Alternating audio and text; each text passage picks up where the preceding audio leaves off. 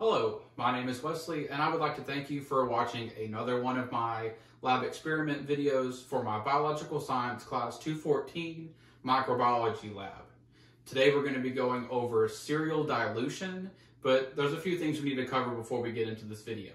First and foremost, my lab attire. It is a long sleeve shirt to simulate a lab coat, my glasses so that one I can see, and two to simulate my safety goggles or safety shields.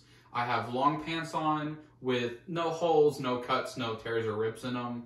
And I also have on closed-toed shoes. So if I spill anything during this lab, none of it gets on my toes.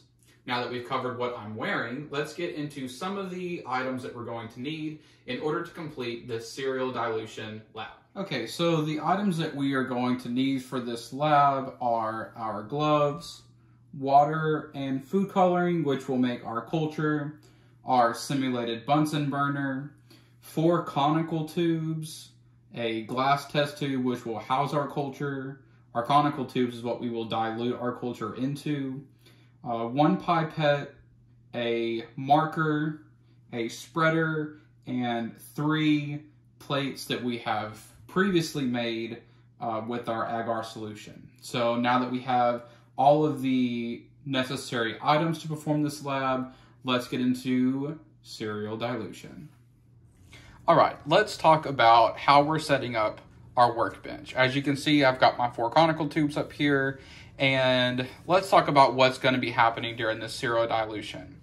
What's going to be happening is our culture is going to be diluted amongst all four of these conical tubes. Now, how we do that is very specific in that all four of these conical tubes will have nine milliliters of a dilution liquid. In this case, it's going to be water. So we will be taking one milliliter out of our culture and placing it into our first tube.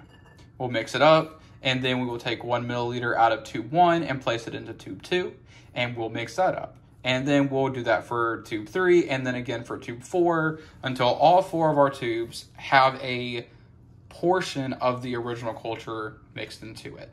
Now these will decrease in a logarithmic form by a power of 10 each time. So we will have those labeled and in a normal lab situation, we would be using one pipette per transfer. But because we're simulating this, we will be using the same pipette. So we need to mark it so we know where our one milliliter is. So off camera, I have added three milliliters of water into this conical tube. The reason why I've added three is because I need to take one milliliter out of this so I can mark this pipette. So I've got my pipette in here and I'm going to dip my pipette in and in order to get no air bubbles in it, I'm going to draw up one milliliter of liquid like so. And notice that there's no air in the bottom of the pipette and there's no water in the bulb. So all this is liquid. That's one milliliter. So I'm going to mark it. And it's right there that we see that, right at the base of the bulb.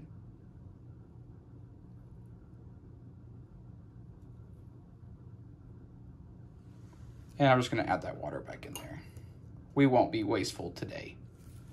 So now as you can see, my pipette is marked where one milliliter of water is going to be.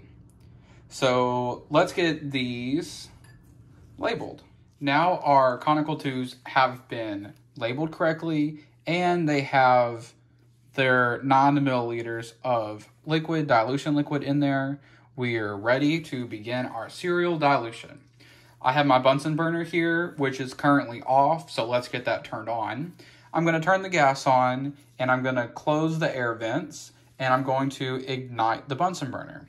Once the Bunsen burner has been ignited, I'm going to control the temperature of the flame by adjusting the air vents at the bottom. I'm going to be looking for a blue internal flame, which will be the hottest part of the flame for my Bunsen burner. Okay, we've got that set up and it is ready to rock and roll. So let's do our first dilution. So I have my culture here, remember to always pick it up by the glass and not by the cap. So I'm going to remove the cap of the test tube. I'm going to flame the tube and I'm going to get one milliliter of culture.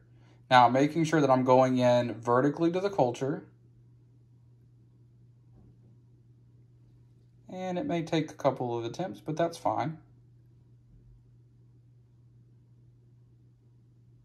All right, there we go. And then I'm going to flame and recap. And we're going to get that set off. And now let's dilute it into our test tube one. So in the same manner, I'm going to remove the cap, going to flame the tube, and I'm going to put my culture in it. One milliliter of culture in. I'm going to flame once again, and then I'm going to recap. And then we're going to shake it up and make sure that our culture gets nice and infused in all of the liquid. As you can see, the liquid is a nice blue tint. And we have 10 milliliters of liquid in there. Now let's continue this process for each one. So as before, we're going to remove the cap. We're going to flame and we're going to take 10, 1 milliliter out of test tube 1.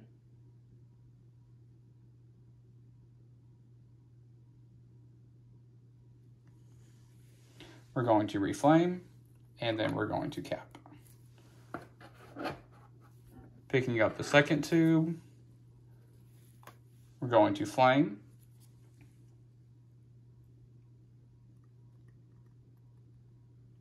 transfer our liquid, flame again, and recap. And we're gonna shake.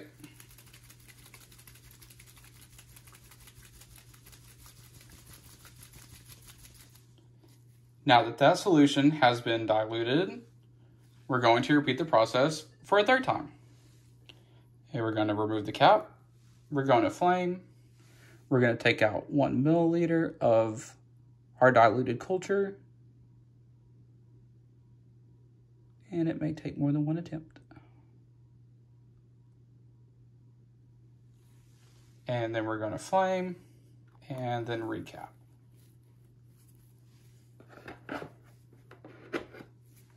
And for the third one, we're going to uncap, flame,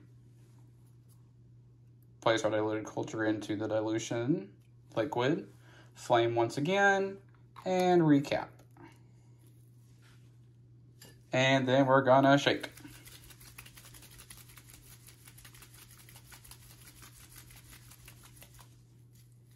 Now that it's been diluted, one final time. Uncap, flame, one milliliter of dilution, flame, and recap.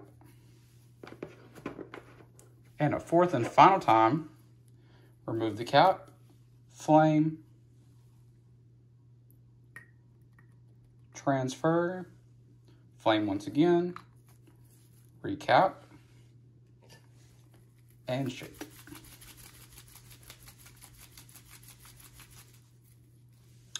Okay, and as you can see, as we progress down the tubes, our dilution liquid gets less and less blue.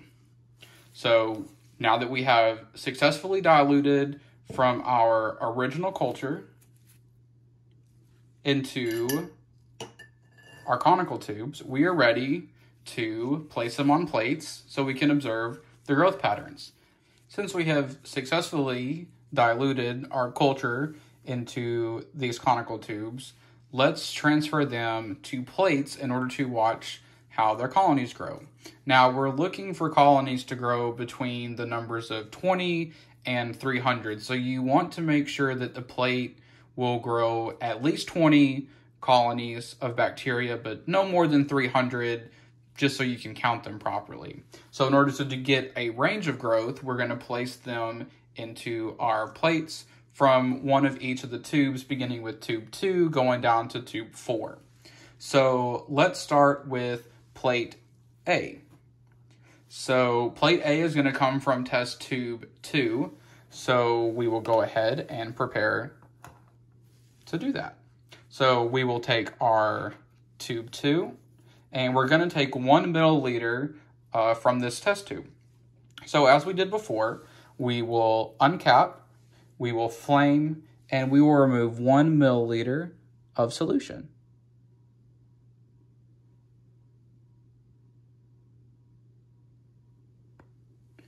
And flame, and then recap.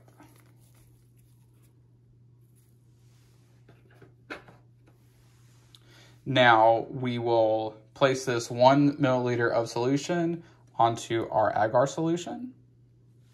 And then using our spreader, we will make sure that it gets spread all over the place. You want a nice even coating all over your agar solution.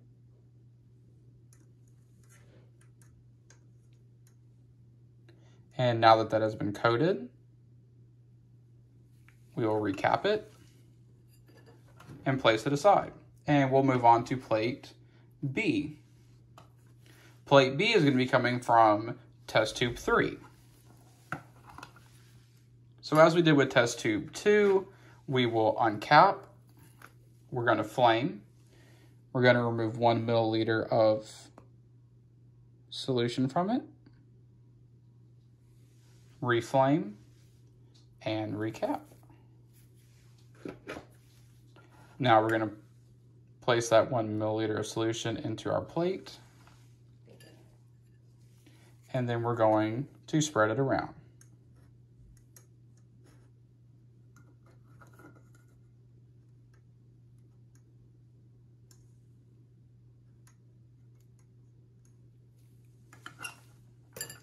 and place it to the side. And our third and final plate, plate C, is going to be coming from test tube 4. So let's do as we did with the others. Remove our cap, flame, and remove one milliliter of solution. Reflame and recap. Place our one milliliter of solution into the plate, onto the field, and then spread it out evenly. Try not to tear your agar solution.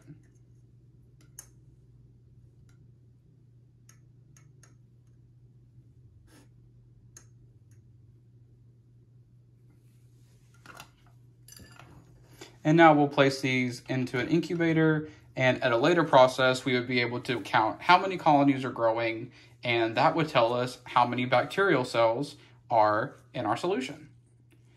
Here we have our final products of the day.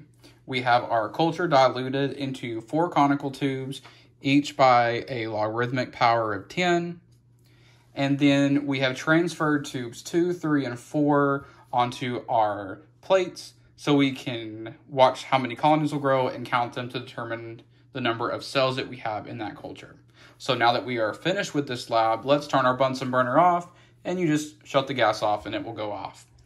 Now, thank you again for watching this video on how to do serial dilution. My name was Wesley, and I hope you stay tuned for our final lab for Biological Science Class 214 Microbiology. Thank you.